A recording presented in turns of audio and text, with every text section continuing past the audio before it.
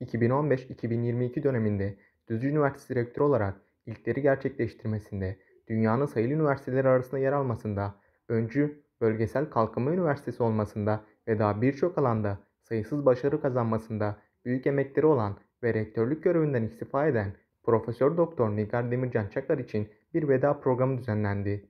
Cumhuriyet Konferans Salonu'nda düzenlenen ve yoğun ilginin olduğu programda Çakar'ın çalışma arkadaşları yaptıkları konuşmalarda üniversitenin bugünlere gelmesinde çok büyük emekleri olan Çakar'a teşekkürlerini ilettiler.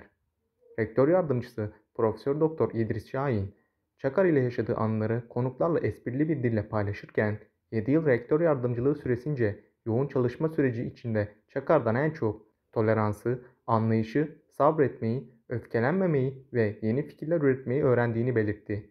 Ben hocadan en çok neyi öğrendim derseniz ben hocadan en çok toleransı ve anlayışı öğrendim. Sabretmeyi öğrendim. Yani e, bu dediğim gibi her şeyin içinde o toleransı, birlikte çalışmayı, öfkelenmemeyi benim en çok öğrendiğim şeyler. Ben mesela yeni fikir düşünmeyi öğrendim. Birçok şey öğrendim ama hocaya da gitmeden önce bir teessüfüm olacak. Hoca bizi her yıl şeyle kandırıyor. Ocak ayında başlıyoruz diyor ki İdris bu yıl çok güzel eğleneceğiz. Bizim aramızda bir taf var. Lay lay lom yapacağız. Her yıl aynı numarayı yaptı bize. Ve son anda da biz lay lay lomu bu sene yapacağız diye bekliyorduk. Maalesef yine yapamadık diyorum. İyi ki varsınız hocam diyorum. Teşekkür ediyorum.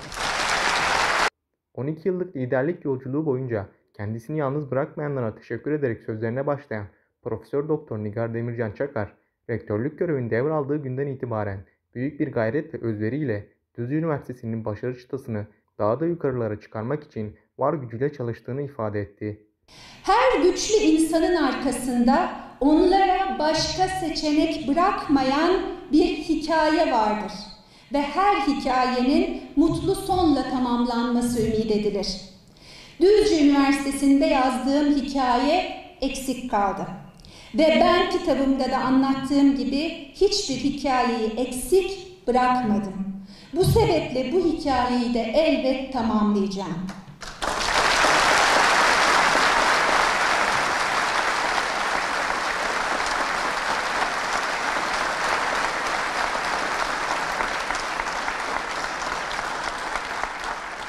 Bu tören elbette üniversitemize veda töreni olarak kurgulansa da Düzce'mizin bağrına bastığı bir evladı olarak memleketime hizmet etmeye devam edeceğim.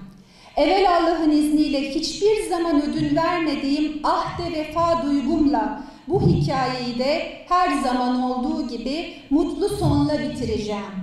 Sizlere kısa süreli bir veda ederken sözlerime Ümit Yaşar Oğuzcan'ın gençliğimden bu yana çok sevdiğim dizeleriyle son vermek istiyorum.